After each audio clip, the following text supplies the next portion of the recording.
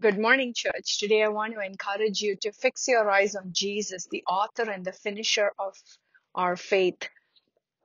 I want to read a few verses from the book of Second Corinthians, chapter 1, where Paul makes some powerful claims about Jesus that you and I today, full of faith, we need to keep speaking this over our lives and know how powerful Jesus Christ, the risen King, is. Verse 18 he says, As surely as God is faithful, our word to you does not waver between yes and no. For Jesus Christ, the Son of God, does not waver between yes and no. He is the one whom Silas, Timothy, and I preach to you as God's ultimate yes. And he always does what he says. Today, speak to your soul. Take several times today to read this portion to yourself. 2 Corinthians 1 verse 19. Speak over yourself, for Jesus Christ, the Son of God, does not waver between yes and no. He is the one that we preach. He is God's ultimate yes, and he always does what he says. It doesn't matter how old the dream, how old the vision, Write the vision down, make it bold. Even though its fulfillment tarries, it will be fulfilled. Like God told Prophet Habakkuk, he told him to write the vision down that even the runner may see it clearly. Let us make memorials. Let's write down the visions. Let's write down the scriptures that the Lord has engraved in our heart so we can see it, so we can feed our five senses with the truth of God's word. What you have seen as a vision, as a dream, write it down might have been a brief glimpse, but write it down. Make it clear. Feed your earthly senses, your vision, your hearing, your sight, um, everything. Feed the word of the Lord. Feast on the word of the Lord. For all his promises are yes and amen through Jesus Christ. Jesus never wavers between yes and no. He is God's ultimate yes, and he always does what he says. For all of God's promises have been fulfilled in Christ with a resounding yes. And through Christ, our amen, which means yes, ascends to God for his glory. Every time you say amen to the plans of God over your life, every time there is a glimpse, uh, inkling of this is what the Lord wants to do for you, when you say amen, it ascends to God for his glory.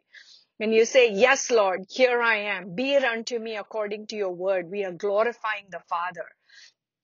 Remember when the Father wanted to create the universe in Genesis 1, right from the beginning of time, this written word is this union of the Father's desire, the Son's surrender, and the power of the Holy Spirit. In Genesis 1, when the Father said, Let there be light, there was light. It was Jesus stepping up and saying, Here I am, Lord and he became the light. And by the power of the Holy Spirit, this world that was dark, formless, and without form, and there was just chaos when the Holy Spirit hovered over the dark waters, when his power hovered over the dark chaos. And the Father said, Let there be light. His word was fulfilled in Christ.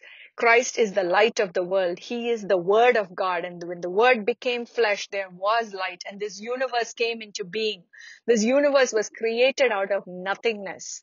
So today, when you look at the dark, chaos, hopeless situations, the hopelessness that seems to linger over the people you love, speak life, speak truth, say, let there be light and there will be light in your loved one's life because what God did in Genesis 1, He is able to do in you by the power of Jesus Christ. Just yield to the Holy Spirit. Today, the word of the Lord to us is focus on Jesus Christ, who is the resounding yes of the Father God. He is God's ultimate yes. There are many dreams cut down. There are stumps in your life when you look back at your life, the Spirit of the Lord is saying there are stump like situations, things that the devil cut off because he did what he's supposed to do. He comes to steal, kill, and destroy. He has cut down your dreams. And without the Holy Spirit, you will not have the power to believe that the new growth is possible. The Lord said in Job chapter 14 that at the scent of water, there will be growth. So today I pray that you will yield to the power of the Holy Spirit. He is able to cause sprouting and new life to grow. I'm reading from Job 14 verse 7. Even a tree has more hope If it is cut down, it will sprout again and grow new branches. In this season of spring, as you are doing planting, I know you have seen new growth. Your plants that you prune, you see the green leaves coming out of old cut out, cut out pruned dead branches. That same god is alive. The growth that you see in the plants that you are pruning is able to prune uh, the stumps in your life that have been pruned that have been cut down by the enemy that has been pruned by the father. There will be new growth. Verse 8 says though its roots have grown old in the earth and its stump decays. You might be seeing decaying stumps in the natural but the answer lies in verse 9. At the scent of water, it will bud and sprout again like a new seedling. Just the scent of water, the aroma of Christ is our confidence. The aroma of Christ, the gospel has the power to restore, to rebuild, to rejuvenate, and to just cause new growth. I pray that you will see your dead dreams, the things you have given up on, bear life and come up in the power of the living God. Our God is able. He is a resounding yes. Jesus Christ is the resounding yes. And I pray that the faith of Jesus Christ will be your confidence today. The faith that has been tested in fire and has emerged as pure gold, let it enter your hearts.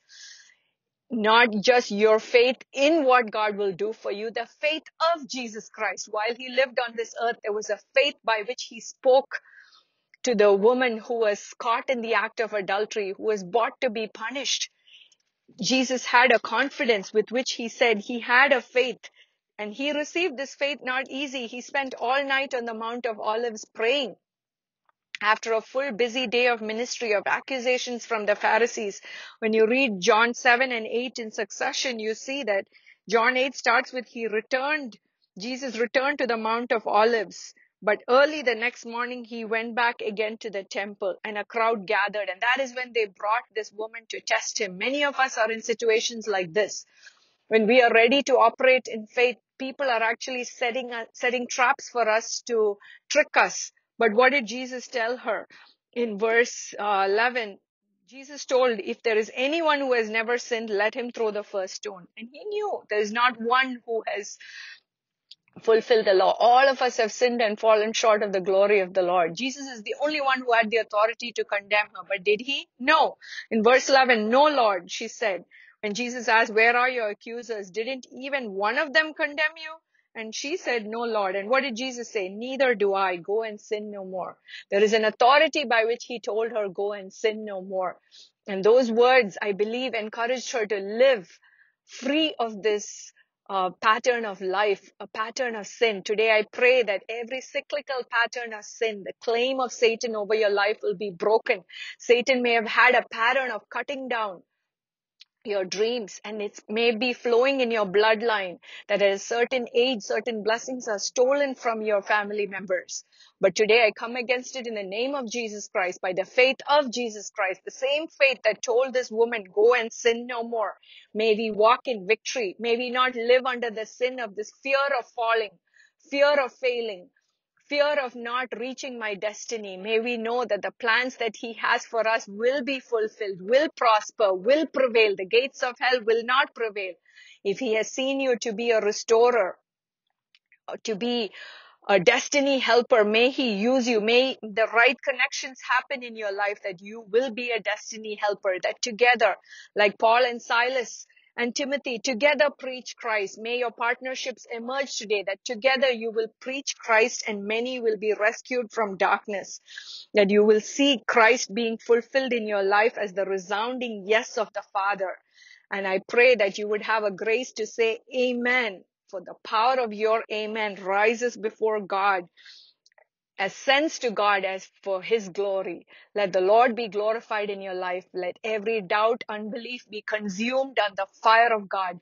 Let there be new life. Let every stump bear growth. Let the root bear fruit at the scent of water. May you walk in victory because know that Jesus himself came out of the stump of Jesse.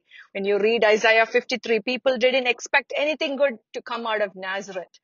He, but he came out of the bloodline of David the root of Jesse, the throne of David remains today through Jesus and the finished work on the cross. I pray that the throne room experience would be yours today, that you will see yourself seated at the right hand of the Father as the every accessor, that you will receive every blessing that has been promised to Abraham that the sure mercies of David will be your portion through Christ Jesus. Let the faith of Christ define you today, every moment of today, that you will know who you belong to.